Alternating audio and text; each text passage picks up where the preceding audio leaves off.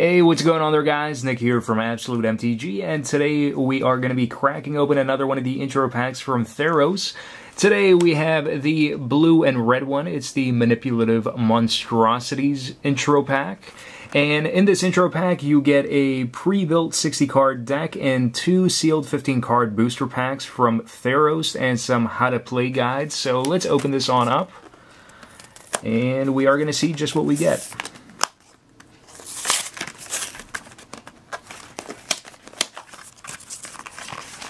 Alright.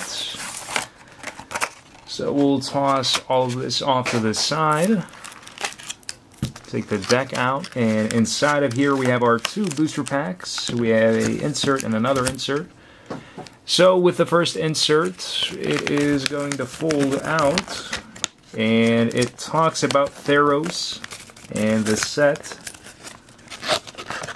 And it also has a list of the decks and the deck list for each of the intro packs for those of you guys that are interested. However, you can just find the deck lists for the intro packs online as well.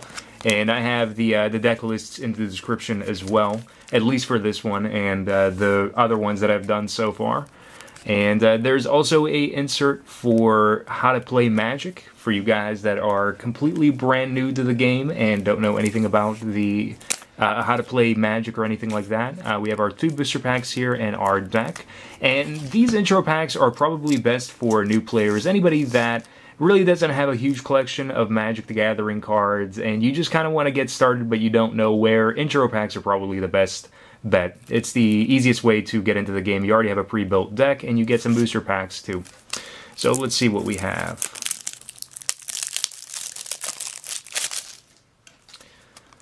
So our first card is the Shipbreaker Kraken. It is a 6646 and it has monstrous 4 for seven or for 8 mana actually, 6 generic and double blue. And whenever it becomes monstrous, tap up to 4 target creatures. Those creatures don't untap during their controller's uh, untap step for as long as you control Shipbreaker Kraken. Pretty nice big fat guy for us. We have Coral Merfolk we can get some focus there, kind of, maybe. There we go. Autofocus is just lagging out. Uh, so we have two of those. Uh, we have Omenspeaker. We have two Omenspeakers in here. Uh, Burnished Hart to be able to ramp us into our big cards. Uh, Cackling Triton, or Crackling Triton, actually. Two of those. We have Wall of Frost, Ill-Tempered Cyclops, we have Archaeomancer. We have another one. Water Servant. Sealock Monster. And another Sealock Monster. Uh, Stoneshock Giant. Another Stoneshock Giant. So it seems like there is a fair bit of monstrous going on. So if we can pull any cards from out of here that either let us like ramp uh, like the Burnished Hart, or anything that could be like a just a better monstrous creature for red or blue, uh, we could definitely uh, find a way to put it in here. Uh, we have our basics, so we have 3, 4, 5, 6, 7, 8, 9, 10, 11, 12, 13, 14, 15, 16 islands. And we have 1, 2, 3, 4, 5, 6, 7, 8, 9, 10 uh, mountains, so 26 total. Uh, which seems probably about fair. Maybe we can cut one of them to take it down to 25 depending on uh, depending on what we end up having here total. Uh, then we have a Lost in the Labyrinth. We have Shock, two Shocks, Disperse, Lightning Strike. Uh, we have Magma Jet, Ordeal of Purphoros. We have Dissolve, Griptide. We have Rage of Purphoros, Another Rage of Purphoros. Sea God's Revenge. Uh, Curse of the Swine, our other rare in here. You always get one foil rare and one uh, other rare aside from it in the pre-built deck. So Curse of the Swine is our rare. And Volcanic Geyser. So looks pretty sweet. Let me just sort things back out here. Just so we get the uh, the big fat guy on top here, our Shipbreaker Kraken. And now let's open up the packs and see if we can pull anything that will help us out here for this red and blue deck. So we have March of the Returned. We have another Lightning Strike. That's definitely useful. Uh, we have a Fleshmad Steed. We have Cavalry Pegasus, Voyage's End, which could be playable for us here. Uh, we have a Citizen Battle Priest, Baleful Eidolon. Uh, we have the Giant, the Benthic Giant. That could be playable, maybe. Uh, Annul, which could be playable. It counters artifacts or enchantments. It's a counter spell for us. It could be used in our sideboard, which is uh, a, a group of up to 15 cards that you get to use between um, games in a match whenever you're playing up against an opponent, and between games 1 and 2 and games 2 and 3, you can side in cards like a Null if they're relevant for you, if you're playing like competitive Magic. Uh, we have Traveling Philosopher, Mogis's Marauder. We have Horizon Chimera, Favored Hoplites. Uh, we have another Shipbreaker Kraken. Nice. So that's definitely something cool. Uh, then we have a Plains and a Harpy. So, do we get anything else? No. Surprisingly, this pack has a lot of a lot of black in it, and a lot of white as well. That's kind of odd. No green, or well, I guess the Horizon Chimera, but that's kind of weird. Let's see what we have in this pack here. We have Messenger's Speed. We have God's Willing. We have Savage Surge. Opaline Unicorn could be useful for us. Uh, we have Unknown Shores. Uh, Crackling Triton. That could be useful. Portent of Betrayal. Uh, that could be useful as well. Commune with the Gods. Returned Phalanx. Heliod's Emissary. Witch's Eye. We have Insatiable Harpy. And Temple of Silence is our rare. Pretty nice. Uh, it taps for or black to our mana pool, enters the battlefield tapped, and whenever it enters the battlefield, we get to scry one. So it's better than a Guildgate for you guys that have played through uh, Return to Ravnica block. You'll know and be familiar with the Guildgates, hopefully. Uh, so it's like a better Guildgate at rare at a rare rarity. And then we have a foil, Nylea's Disciple, and a forest and a uh, insert add thingamajigger. All right, so uh, out of here, we actually didn't get anything that is quite useful for us uh, out of the rest of this stuff here. Uh, we do have the uh, the Triton and the Portent, uh, which is definitely uh, it's something. So let's see what we can do here in terms of cards. Messenger Speed isn't all that amazing for us in this deck. We would rather play other things. It's just not necessary. so out of here, things that would be pretty awesome would be like Lightning Strike, we can add that in. It's another burn spell for us. Um, the Opaline Unicorn could help us out. It's not as good as the uh, the Burnished um, Hart, but it's just kind of different. It's reusable. It adds one mana of any color to our mana pool and uh, it's going to allow us to ramp a little bit. So we have two things that we can ramp with there. Uh, the null would probably be in the sideboard more than anything else, but we do have another Shipbreaker Kraken, which is really cool.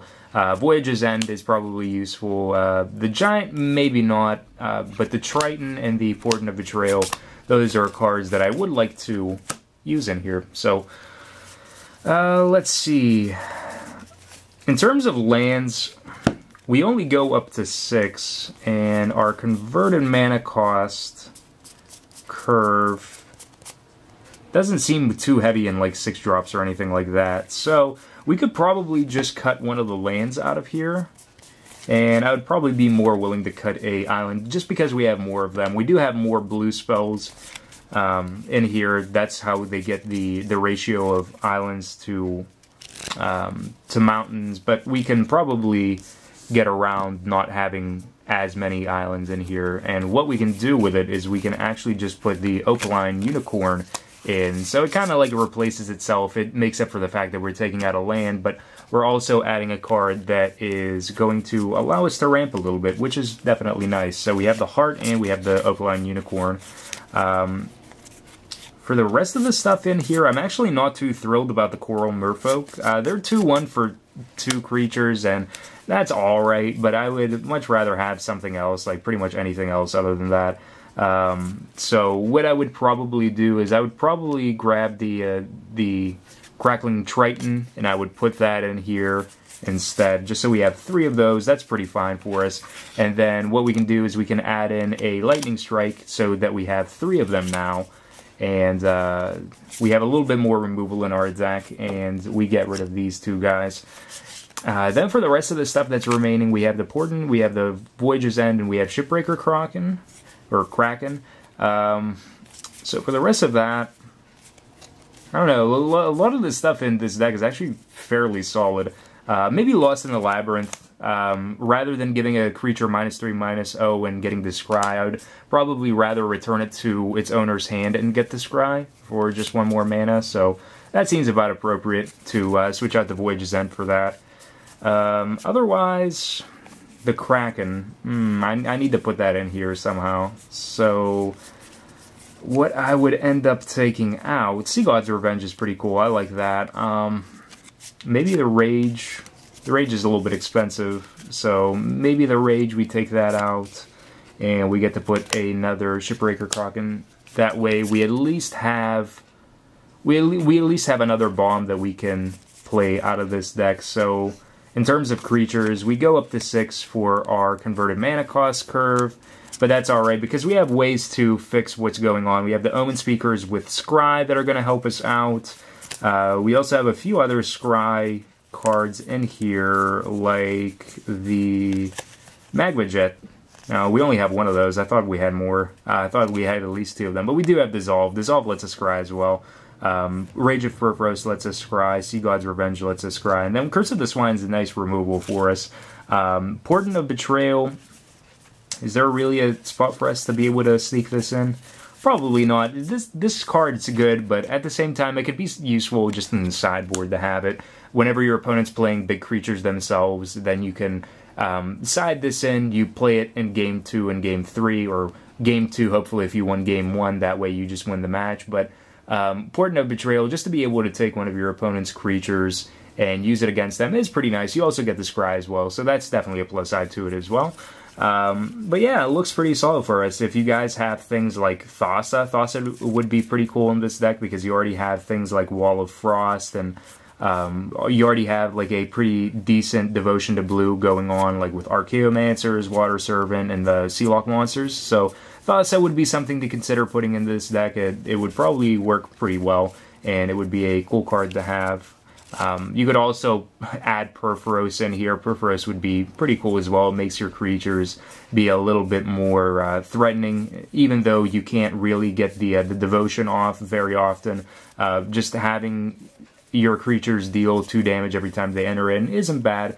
Uh, it's pretty useful as well, and you can go and play like Curse of the Swine on your creatures that you already have on the battlefield, exile them, and you make uh, more 2-2s that are going to enter the battlefield under your control, that way triggering off Purphoros and giving you a little bit of value, especially if it's like for the win. Um, if it's for like any amount of damage that'll win you the game. It's just kind of a cool interaction. But uh, it's this is a pretty sweet deck. I really like blue-red monstrous, and you have like counter spells and burn and whatnot, just like counter burn monstrous big sea monsters. Uh, it's definitely a sweet deck. So uh, what we got in terms of rares, uh, we got the uh, the Shipbreaker Kraken, and we got Curse of the Swine out of the deck. We also got another Shipbreaker Kraken, and we got Temple of Silence for our other rare out of the pack. But uh, that pretty much concludes our video here of the unboxing of the intro pack. So if you guys enjoyed it, please like this video and subscribe to the channel for more Magic the Gathering content. And until next time, guys, peace out.